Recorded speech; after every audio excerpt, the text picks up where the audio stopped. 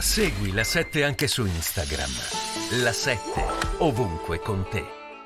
Sia un'attenzione che cresca nel momento in cui c'è un conflitto animato da un fortissimo odio religioso. Il fatto che ci possano essere giacimenti di odio che vengono rialimentati purtroppo è possibile. Ma qui va detta una parola molto chiara. I terroristi non sono mai arrivati con i barconi, non arrivano con i barconi. E vede, quando noi abbiamo avuto l'assalto di Islamic State all'Europa, e quelli che hanno fatto gli attentati non venivano né dalla Siria né dall'Iraq, erano i figli della nostra Europa, erano i figli di una sbagliata o mancata integrazione. Questa parola integrazione è un pezzo fondamentale delle politiche di sicurezza. Di sicurezza.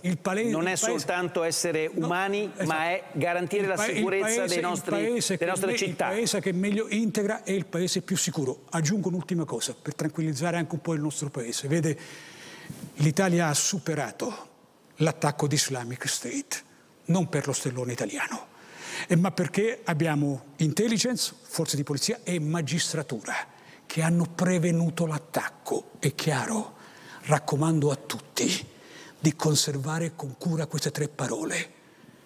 Forze di polizia, intelligence e magistratura. E, e, non le cito per caso. E questo è un messaggio chiaro anche al nostro governo, anzi al nostro governo. Grazie Marco Miniti per Grazie. essere stato con noi.